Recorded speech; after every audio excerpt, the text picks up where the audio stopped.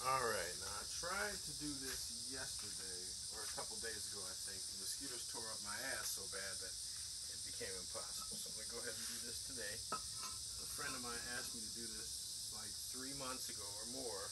I didn't know. And uh, I'm just now getting around to doing it with the move and everything. So, I'm going to do a uh, two stack iron palm break. Um,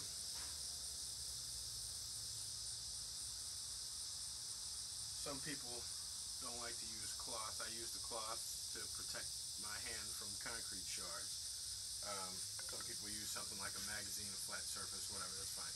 Now, iron palm um, is a little different from traditional strikes because, uh, you know, with traditional strikes, we do uh, relax, relax, relax, relax, relax, relax, tense retract at the end, right?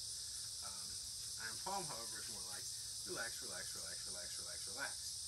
So, um, very powerful strike, but it is different from most normal strikes. So it takes um, a lot of training to get rid of that uh, sort of yeah at the end that we're used to.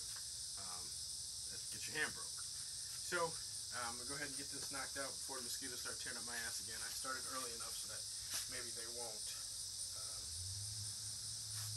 and here we go.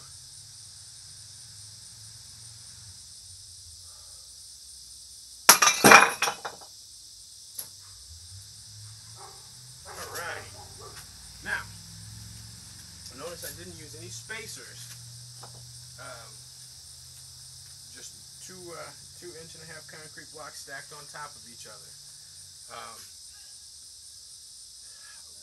there's nothing wrong with spacers, but it does make it easier. But I don't want to start that debate. Um, anyway, just uh, there you go, Daryl. Um, there's my iron palm. Um,